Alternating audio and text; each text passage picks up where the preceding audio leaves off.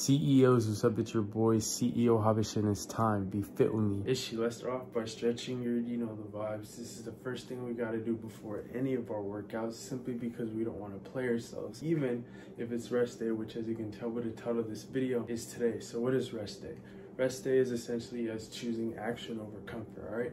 Instead of choosing to lay in bed all day, instead of choosing to remain stagnant, we're choosing to be active even for a good 10 to 20 minutes because something is better than nothing in that regards. So we're gonna do three workouts, nothing too crazy. Again, as per usual, we gonna get right. The first workout is us doing our obliques. The second will be us doing push-ups. And the third and last one we will find out towards the end of the video because it's the last workout for the day, all right? Today is Sunday, though, so happy Sunday.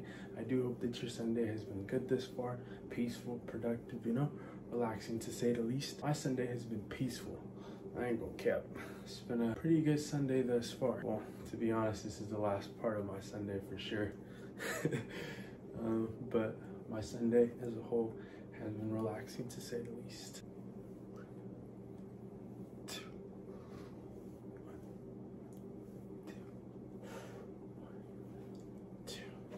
Issue, let's get to it. Issue for this first workout, we're gonna be focused on our obliques, so we're gonna be doing this with dumbbells.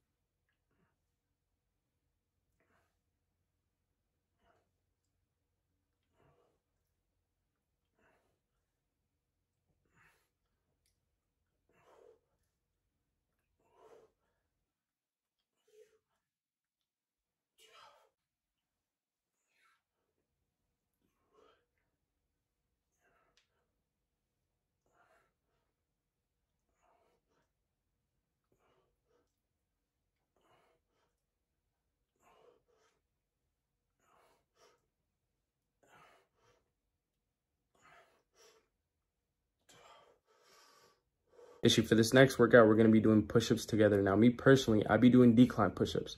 Those are the type of push-ups i be doing. However i've said this before and i'll say it again today. If you feel like decline push-ups are not for you just yet that's totally fine. Do what you can. Do normal push-ups. Those do wonders in itself. And at one point if not today another rest day we'll be doing decline push-ups together all right? Issue for the last and final workout today we are going to be doing dumbbell shrugs while being seated and our seat our bench is going to be on incline like so